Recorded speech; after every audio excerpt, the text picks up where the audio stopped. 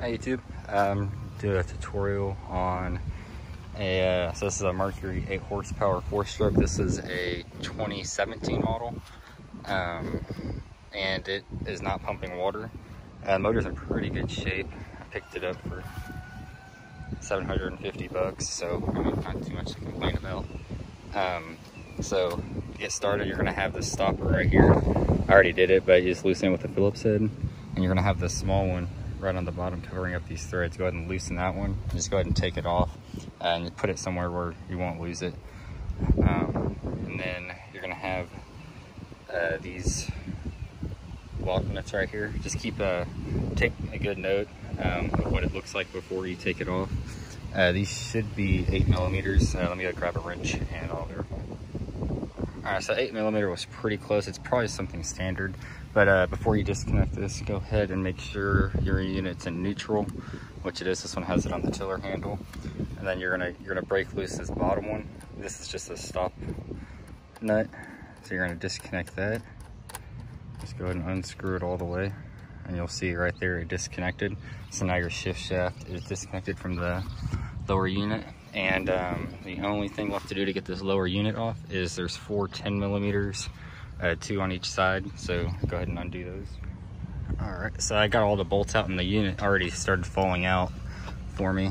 Um, but it, once you get those four bolts out, it should just pop right out of here. You might actually um, have to undo this, uh, lock this nut. So let me take that off real quick. All right, the lower unit is off. I put that, um, that nut, I just put it back on the motor so um, it doesn't get lost and you're gonna have, here's the impeller housing, you're gonna have four bolts, uh, it should be 10 millimeters. So let's go ahead and take those off. All right, so once those bolts are removed, just go ahead and slide the impeller housing up. Um, be careful not to break it, it's just plastic and try to save your gaskets if you can help it. And then your impeller should just slide right off. I'm not gonna take mine off, I just wanted to inspect it and see how it looked. Uh, mine's a little dinged up there. I might order a new one for it, but I just wanted to see what the condition of it was. Uh, it's not too, too bad. Um, but there is a keyway in there, so you'll have to watch the keyway whenever you put your new one on.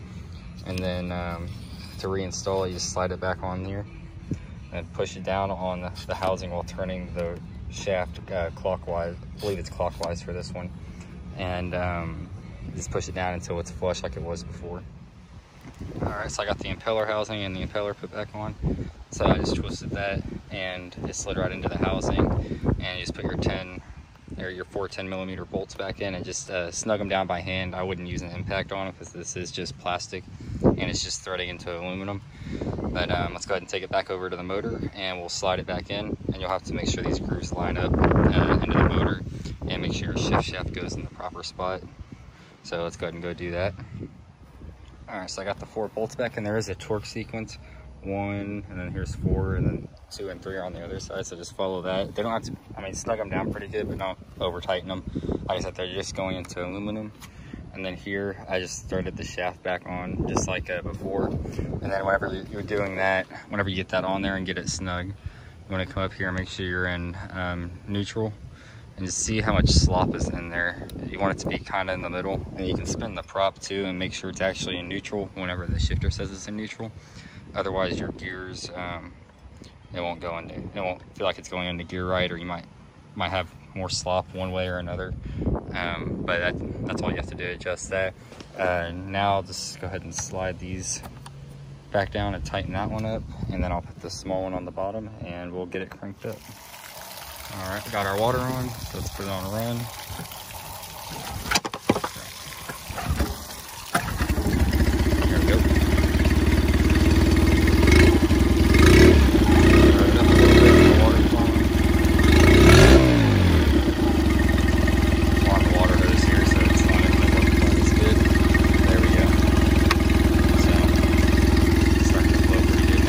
Like I said, I might go ahead and order an impeller for this one. Uh, we'll see. Um, I just didn't have one on me, and I'll probably take it apart and order one. But um, well, you guess I need to service your impeller. That's how you do it. I'd probably recommend going ahead